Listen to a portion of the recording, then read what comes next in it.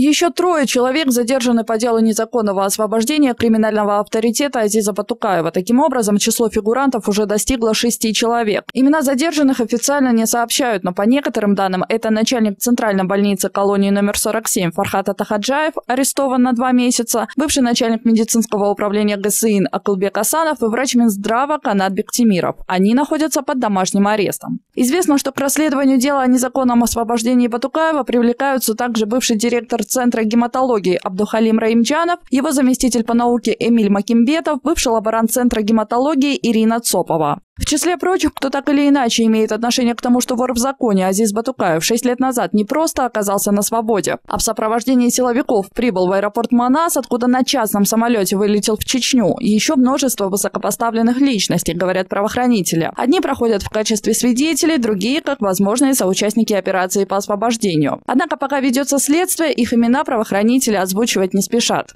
На сегодня э, есть задержание, есть подозреваемые лица, среди них есть медики, среди них есть чиновники, среди них есть э, разного рода профессии. Но в интересах следствия пока не можем озвучивать, сколько человек мы подозреваем, сколько из них задержан.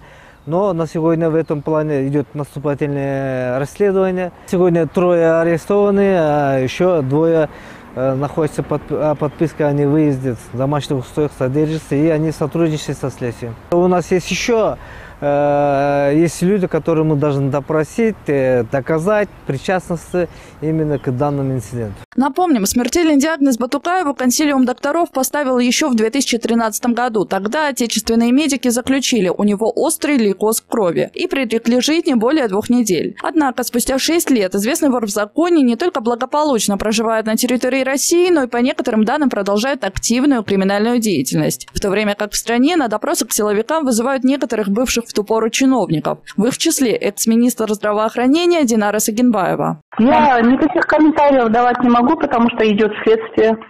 Для того, чтобы найти виновных и установить причины освобождения вора в законе, создавалась даже специальная комиссия. Депутаты парламента выступали с требованием наказать виновных, к коим относили и отдельных членов правительства, и генерального прокурора, и омбудсмена того периода. И сегодня они говорят об этом же.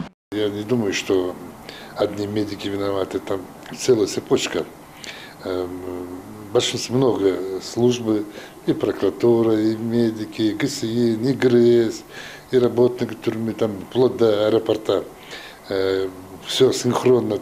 Ему паспорт привезли, там, врачи экстренное заключение делают, прокуратура, э, не задумываясь, э, дает свое заключение, суд выносит решение. Ну, все настолько сдирижировано, Э, значит, тут есть э, целая организация. Надо э, найти всех, всех, кто участвовал. Между тем, по данным правоохранительных органов, уже скоро на допрос повестку получат еще несколько высокопоставленных чиновников. Сабина Дамаскина, Урмат Мамбиталиев, НТС.